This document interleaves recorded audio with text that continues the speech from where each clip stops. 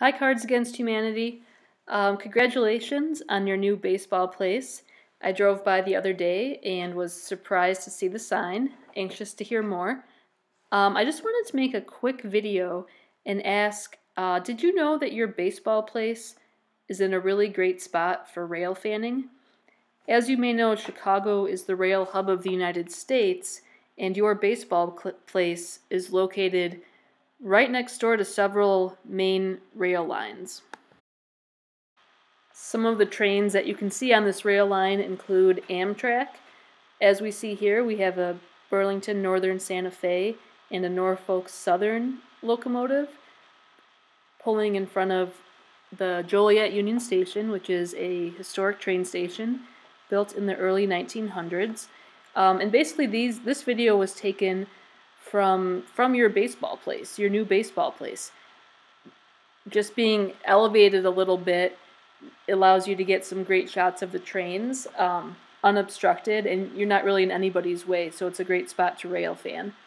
If you're not familiar with rail fanning, um, I guess rail fanning could be defined as taking pictures of trains, videotaping trains. Here, people in Joliet right down the road from your baseball place are waiting to board a historic train excursion.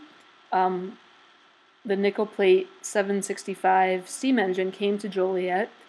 Lots of people came, thousands of people in Joliet and along the, the Rock Island line came out to see the steam engine. So this just sort of shows some of the potential that rail fanning has and a way your baseball place could sort of have multiple uses. There's the 765 steam engine, totally run by volunteers.